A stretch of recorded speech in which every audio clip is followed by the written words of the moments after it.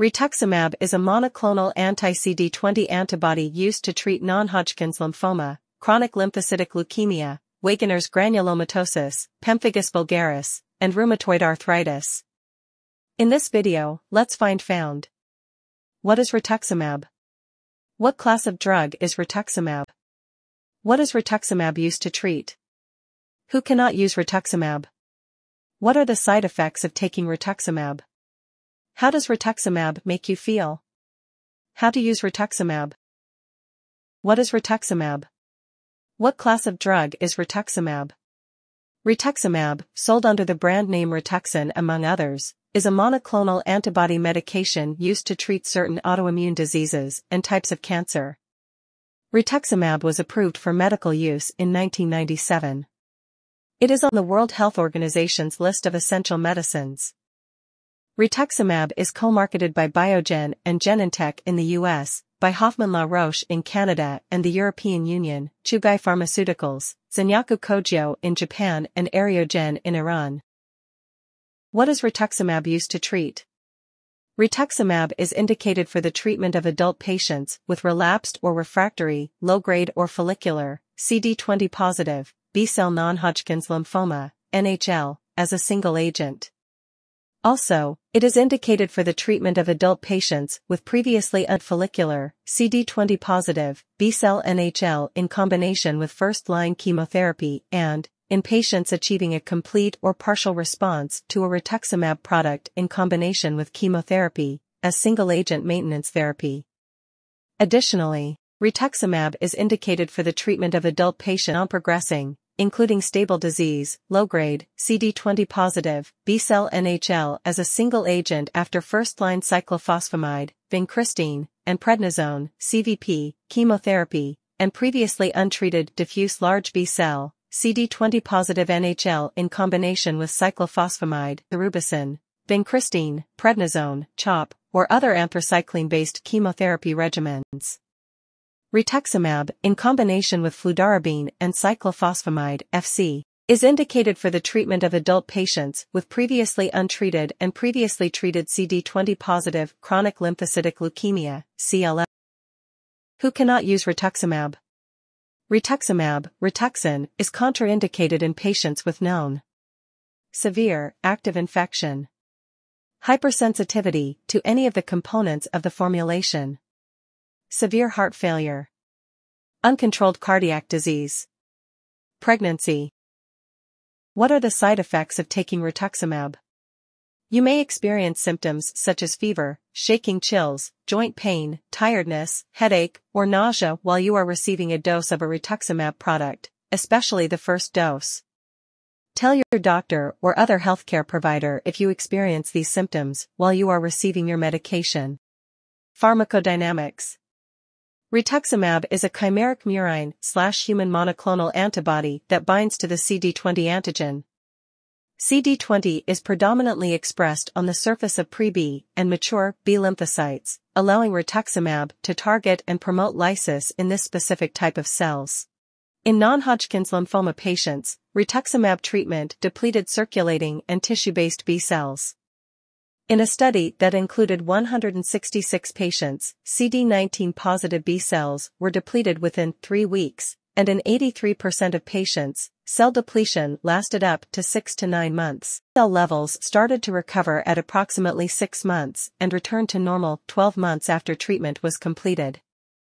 Approximately 14% of non-Hodgkin's lymphoma patients had IgM or IgG serum levels below the normal range. Most rheumatoid arthritis, RA, patients treated with rituximab share complete depletion of peripheral B lymphocytes within two weeks after the first dose. Peripheral B cell depletion was sustained for at least six months, and in approximately 4% of RA patients, peripheral B cell depletion was sustained for more than three years after a single course of rituximab treatment. Pharmacodynamics Rituximab is a chimeric murine slash human monoclonal antibody that binds to the CD20 antigen. CD20 is predominantly expressed on the surface of pre-B and mature B lymphocytes, allowing rituximab to target and promote lysis in this specific type of cells. In non-Hodgkin's lymphoma patients, rituximab treatment depleted circulating and tissue-based B cells. In a study that included 166 patients, CD19 positive B cells were depleted within three weeks, and in 83% of patients, cell depletion lasted up to 6 to 9 months. Cell levels started to recover at approximately 6 months and returned to normal 12 months after treatment was completed. Approximately 14% of non-Hodgkin's lymphoma patients had IgM or IgG serum levels below the normal range. Most rheumatoid arthritis, RA, patients treated with rituximab share complete depletion of peripheral B lymphocytes within two weeks after the first dose. Peripheral B cell depletion was sustained for at least six months, and in approximately 4% of RA patients, peripheral B cell depletion was sustained for more than three years after a single course of rituximab treatment. Half-life In patients with non-Hodgkin's lymphoma, NHL, treated with rituximab once a week or once every three weeks, n equals 298, the median terminal elimination half-life was 22 days, range of 6.1 to 52 days. In patients with chronic lymphocytic leukemia, CLL, treated with rituximab, n equals 21, the estimated median terminal half-life was 32 days, range of 14 to 62 days. How to use rituximab? Non-Hodgkin lymphoma relapsed or refractory, low-grade or follicular, CD20 positive, B-cell NHL. Indicated for treatment of patients with relapsed or refractory, low-grade or follicular, CD20 positive, B-cell NHL as a single agent. 375 mg per square meter 4 once weekly x 4 to 8 doses. Retreatment, 375 mg per square meter 4 once weekly x 4 doses. In combination with ibritumomab. Day 1, rituximab 250 mg per square meter 4.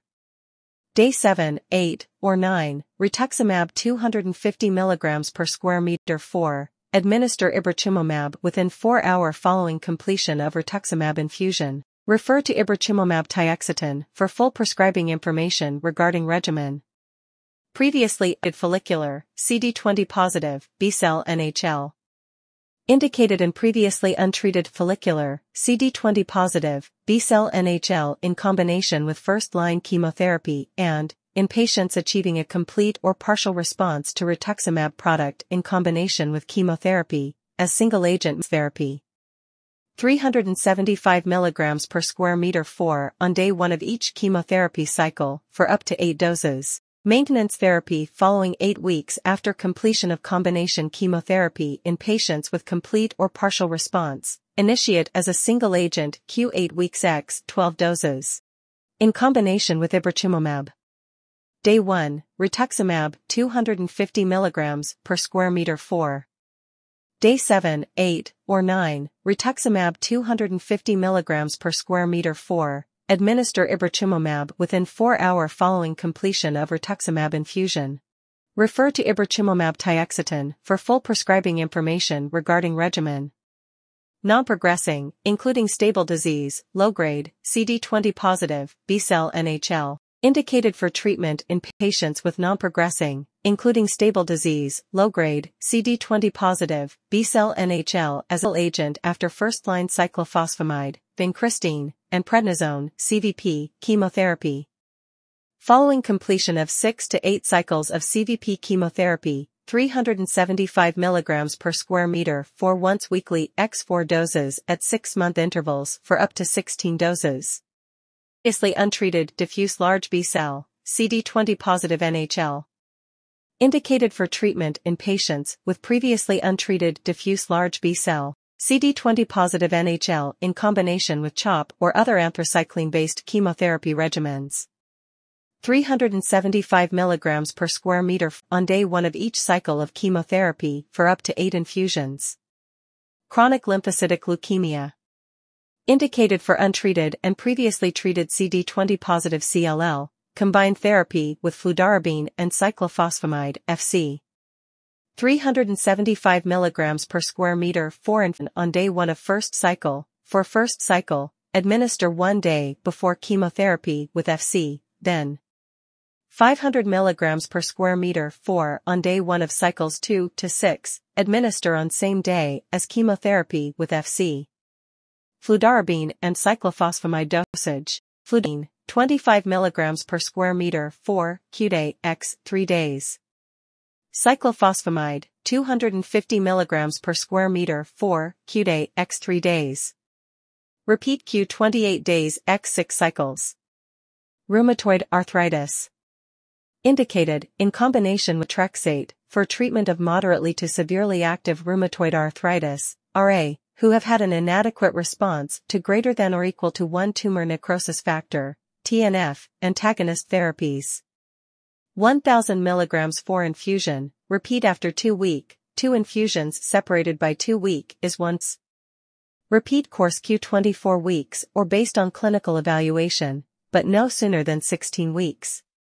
Not to exceed 1000 mg per dose. Wegener granulomatosis. Indicated for adults with granulomatosis with polyangiitis, GPA, Wegener granulomatosis, in combination with glucocorticoids. Induction, 375 mg per square meter 4, q week x 4 weeks. Follow-up treatment. If disease control achieved with induction treatment, initiate follow-up treatment. Induction treatment with rituximab, initial follow-up treatment within 24 weeks after last rituximab induction dose or based on clinical evaluation, but no sooner than 16 weeks after last induction dose. Induction treatment with other standard of care immunosuppressants, initiate follow-up treatment within 4 weeks following achievement of disease control. 500 grams 4 on days 1 and 15, then Q 6 months thereafter, based on clinical evaluation. Glucocorticoid regimen. Also see premedication. Induction. Methylprednisolone 1000 mg 4 q-day x 1 to 3 days followed by prednisone PO 1 gram per kilogram per day, not to exceed 80 mg per day and tapered per clinical need, are recommended to treat severe vasculitis symptoms. Begin within 14 days before or with initiation of rituximab and may continue during and after the 4-week induction course. Follow-up treatment. Methylprednisolone 100 mg 4 to be completed 30 minutes before each rituximab 4 infusion. Microscopic polyangiitis. Indicated for adults with microscopic polyangiitis MPA in combination with glucocorticoids. Induction 375 mg per square meter q week x 4 weeks. Follow-up treatment. If disease control achieved with induction treatment, initiate follow-up treatment. Induction treatment with rituximab, initiate follow-up treatment within 24 weeks after last rituximab induction dose or based on clinical evaluation, but no sooner than 6 weeks after last induction dose. Induction treatment with other standard of care immunosuppressants, initiate follow-up treatment within 4 weeks following achievement of disease control. 500 mg 4 on days 1 and 15, then Q 6 months thereafter, based on clinical evaluation. Corticoid regimen. Also see premedication. Induction. Methylprednisolone 1000 mg 4 q-day x 1 to 3 days, followed by prednisone PO 1 mg per kilogram per day, not to exceed 80 mg per day and tapered per clinical need, are recommended to treat severe vasculitis. Begin within 14 days before or with initiation of rituximab and may continue during and after the 4-week induction course. Follow-up treatment. Methylprednisolone 100 mg 4 to be completed 30 minutes before each rituximab 4 infusion. Pemphigus. Rituxan only. Indicated for adults with moderate to severe pemphigus vulgaris (PV). Initial 1000 mg for once then repeat dose in 2 weeks, i.e., two 1000 mg doses 2 weeks apart, use in combination with a tapering course of glucocorticoids. Maintenance, 500 mg 4 at month 12 and Q6 months thereafter, or based on clinical evaluation. Treatment relapse, 1000 mg 4 and consider resuming or increasing the glucocorticoid dose based on clinical evaluation. Orphan designations of immune thrombocytopenic purpura, ITP. Sponsor.